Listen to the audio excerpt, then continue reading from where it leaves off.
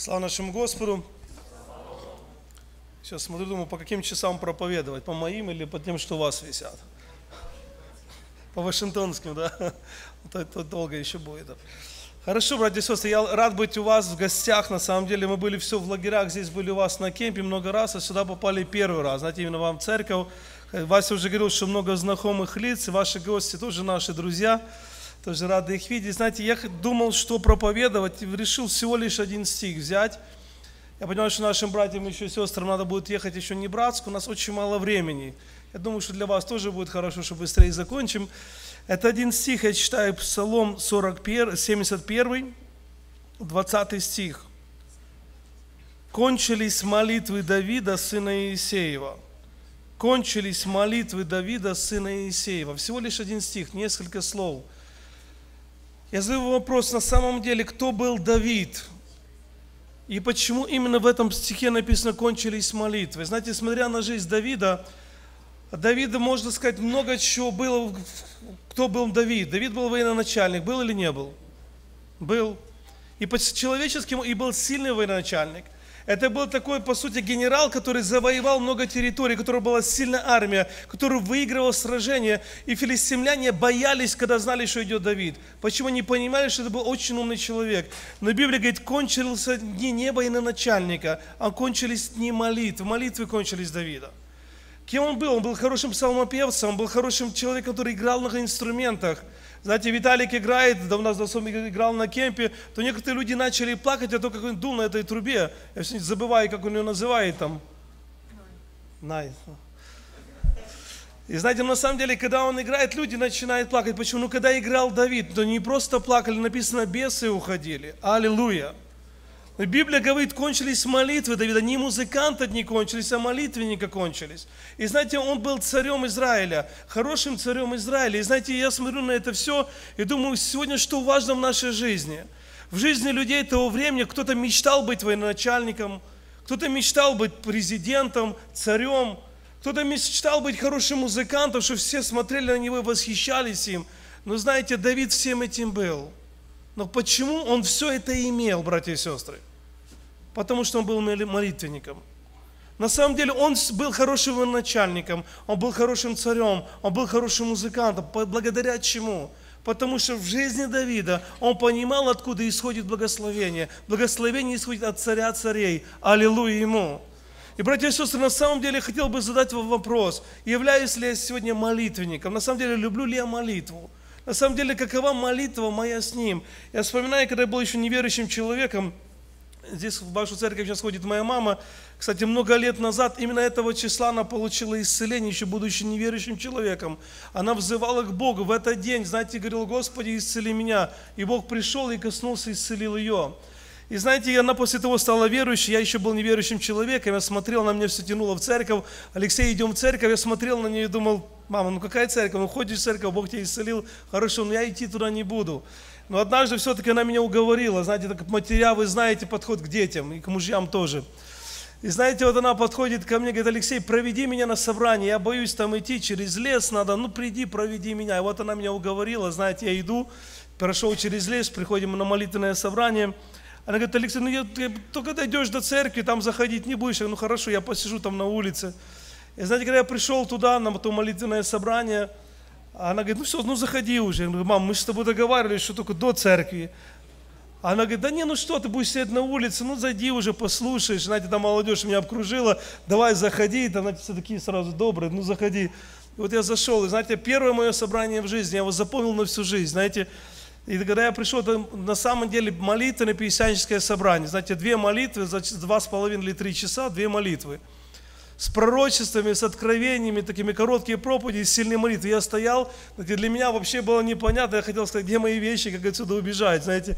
Но тем не менее, я смотрел на это все, было непонятно, было все, что я на молитве не молился, смотрел по сторонам, кто что делает, как они молятся, что молятся, знаете. Но, что интересно, Бог видел мое положение, видел мое такое сердце, Он прикоснулся ко мне на той молитве. Я почувствовал просто Божье прикосновение ко мне. Я почувствовал, что Божий мир и Божий покой наполнил меня, мое сердце. Я понял после этого момента, Бог просто проговорил ко мне, сын мой, я люблю тебя, хочу, чтобы ты служил мне. И по сути моя начинала, христианская жизнь начала именно с того момента, с Божьего прикосновения. Когда я почувствовал Его мир, я почувствовал Божий покой. Братья и сестры, на самом деле, что важно в нашей жизни? Задай себе вопрос, что важно в твоей христианской жизни? Посещение служения – неплохо. Игра на инструменте – неплохо. Я скажу, даже миссионерские поездки тоже неплохо. Но знаете, если все это убрать, основное – это общение с Ним. Аминь. Это молитва, когда мы можем открыть сердце Ему, когда Он приходит, Он наполняет и говорит с нами. Я вспоминаю исход, 33 глава. Мы уже говорили об этом на подростковом кемпе. Моисею, просто Моисей идет в обетованную землю. И вот Бог приходит и говорит с Моисеем, Моисей, я не могу пойти с вами. Я не могу пойти с израильским народом. Почему? Если я встану среди вас, я вас уничтожу в одно мгновение. За все ваши дела, за ваши поступки я не смогу идти с вами. Но, говорит, я благословлю вас. Я проведу вас в обетованную землю. Я даю вам обещание, что вы войдете в обетованную землю. Я пошлю ангела, и люди будут, именно те народы будут убегать от вас. Я буду идти, давать вам победу и буду идти с вами. И знаете, по-человечески послушаешь, ну хорошо или плохо? Ну неплохо, да? Бог дает ангела, Бог обещает, что завоюешь ты землю. Вроде бы все прекрасно, твоя земля, пойду разгонять народы буду, буду с вами. Но знаете, Моисею это не понравилось. Моисею это слово не понравилось. Он сопротивляется за Бога, говорит, Господь, если ты не пойдешь с нами – Боже, если ты не пойдешь, не ангел, если ты не пойдешь с нами, то я с этого места никуда не уйду, я не сдвинусь с этого места. Почему? Ты нужен, чтобы ты был со мной. Да, если ты даже уничтожишь, но я хочу, чтобы ты был с нами. Братья и сестры, свидетельство Васи, что он говорил о своей жене, когда Бог ему задал вопрос. Явный вопрос, а если твоя жена умрет, будешь ли ты мне служить, будешь ли ты меня любить? На самом деле, почему мы любим Бога? Почему мы Ему служим? За благословение – за устройство, за ограду, за защиту. Почему?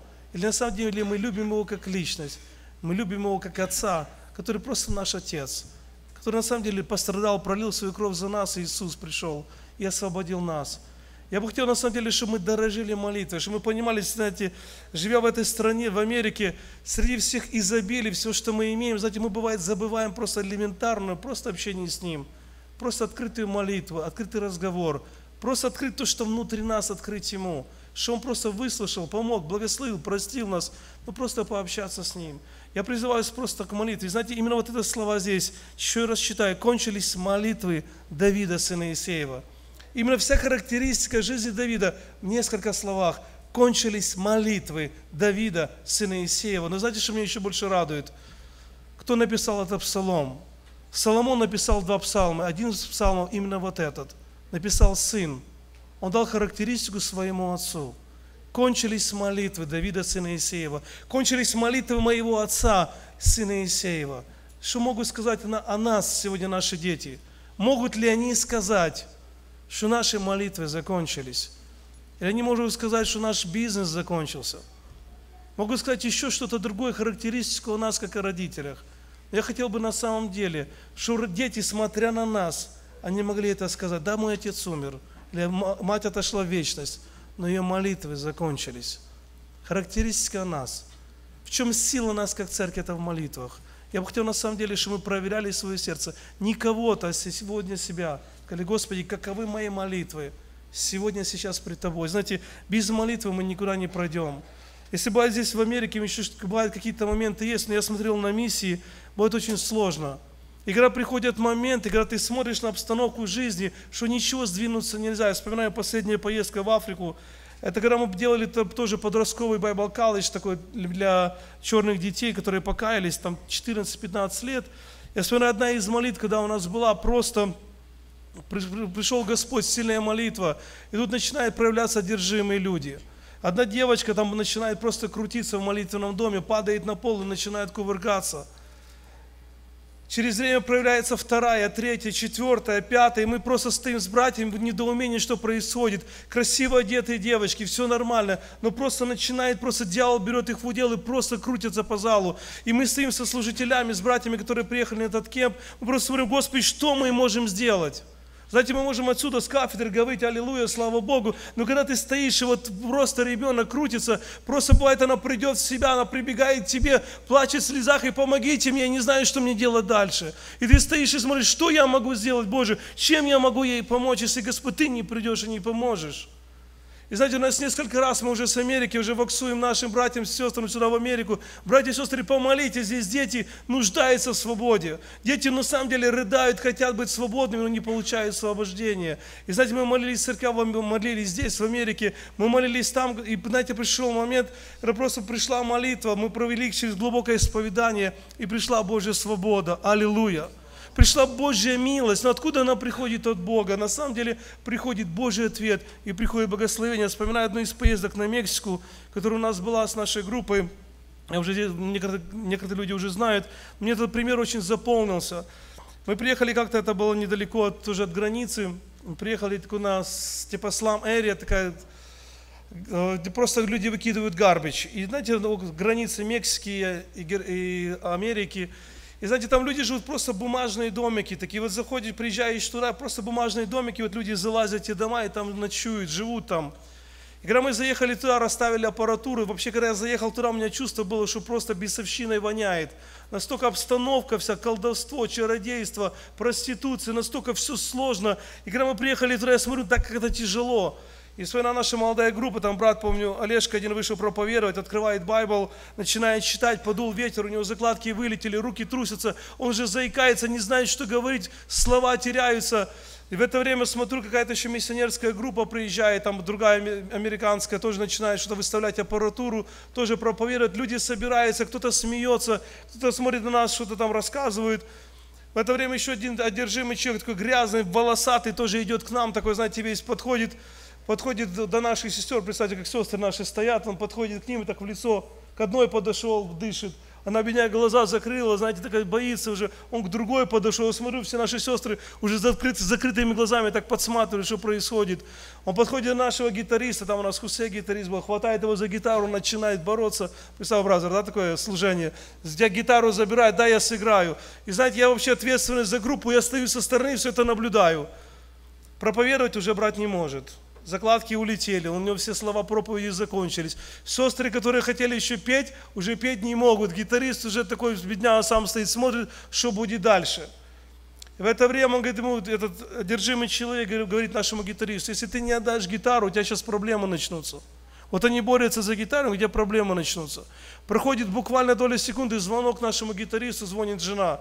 Какой-то ядовитый паук укусил его ребенка, и ребенок умирает, звонит жена. Гитарист уже отдает гитару, уже ничего не нужно. И представьте, сама обстановка, вот все, вся, все, что мы говорим, живой всемогущий Бог, аллилуйя, твоя победа. И вот мы стоим, и по сути все, там другая группа, все люди уже просто стоят, смеются, и вот мы миссионеры приехали и говорим о живом Боге. И знаете, в это время что делать? Знаете, по-человечески хотел сказать, знаете, что, братья и сестры, вот наши автобусы стоят – давайте быстренько через эксит, куда и можно выбежать и бегом отсюда, потому что нас еще не побили здесь. Знаете, те с домиков, которые не вылезли, уже начинают вылазить. Почему шоу началось? И знаете, в этот момент просто все, что мы делаем с братьями, братья, что делаем? Говорю, молимся. Давайте на самом деле молиться к тому, которому, которого мы веруем, к тому, который призвал нас. И когда поворачиваемся к нашей молодежи, будем молиться, знаете, никого не надо было заставлять уже молиться. Все эти сестры, которые бедняги уже боялись, уже не понимают руки, Господи, помоги. Знаете, уже исполняется Святым Духом, даже кто-то не исполнялся. Уже, Господи, яви милость и защити. И знаете, когда начали молиться, я просто увидел, насколько Бог начинает делать, когда мы на самом деле взываем, обращаемся к Нему искренне. Мы начинаем молиться за того держимого человека. Просто он падает и приходит Божье освобождение. Знаете, начинаем проповедовать Божье Слово, то люди, которые стоят мексиканцы впереди, начинают просто плакать, просто рыдать. Кто-то падает на колени, поднимает руки в небо и упоют Господу. Наши братья и сестры, которые стояли, знаете, я смотрел на них, у нас там один Дима такой был, Ковалевич, он Он берет, купил новые кроссовки, такие найковские, шузы, бреню, знаете, он такой снимает свои кроссовки, сам плачет, подходит к мексиканцам, пробует одеть им кому-то на ногу, чтобы просто кому подойдет, у него размер такой большой еще, знаете, пробует кому-то, чтобы подошло. Я просто увидел, насколько все поменялось. Все американцы, которые поставили аппаратуру, они ее оставляют. Они приходят к нам, вместе с нами вопиют Богу, молятся. Говорят, мы можем с вами молиться? Я говорю, конечно, можно. И знаете, я просто увидел, насколько все поменялось. На самом деле, когда приходит живой Бог, братья и сестры, все меняется. Аллилуйя Ему. Я бы хотел, чтобы мы понимали, мы понимали, что цель нашего христианства, в чем суть нас, это вообще не с Ним. Суть это именно не с ангелами какими-то, не с Божьими благословениями, устройствами, делами. Нет, на самом деле это личность. Бог – личность, который хочет, чтобы мы с Ним общались. И давайте, если в нашей жизни где-то мы теряем отношения с Ним, давайте Его искать. Давайте искать ту молитву, которую мы, может, когда-то имели или где-то потеряли. Или если мы имеем, давайте дорожите дальше. Дорожите и помните, что это важно, самое важное в нашей жизни. Общение с Ним, открывать Ему, ему свое сердце. Молодежь, у многих Бог крестил Духом Святым. Аминь. Аминь. Хорошее чувство. Да. И вот вы можете это сохранить навсегда, вы можете это иметь, а можете потерять. И желание нас, как родителей, сидеть здесь, чтобы вы это сохранили.